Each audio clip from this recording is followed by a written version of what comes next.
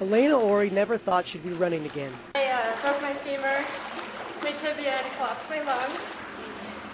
Last winter, Orie crashed her snowmobile head on into a tree. It knocked her unconscious. Four leg surgeries later, and she's still not back to normal. Limited in a lot of things that I do on the land. Pain prevents her from running on land, but underwater, she can't. That's where this state of the art machine comes in at Flathead Orthopedic Rehab.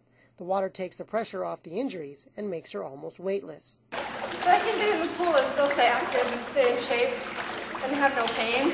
Alania was an athlete, so she really likes to run. But with her injuries that she had, she would still be not able to run um, just because of lack of strength and the pain she's having. But not everyone is using the underwater treadmill is seriously injured. Ed Sander is just trying to get his aging body back in shape. And I needed to get up and do something besides sit. The treadmill is getting Sander back on his feet, and it's helping Orie get her life back. So I got a lot of movement back that I wouldn't have otherwise because of the pool. Reporting in Kalispell, Aaron Rains.